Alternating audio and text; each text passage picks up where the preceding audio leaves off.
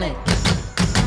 Then you and I both know that the ghost steals on me. You should catch me in your bed sheets, just rattling your chain. Well, back then, baby, it didn't seem so strange. You used to buy, I used to moan.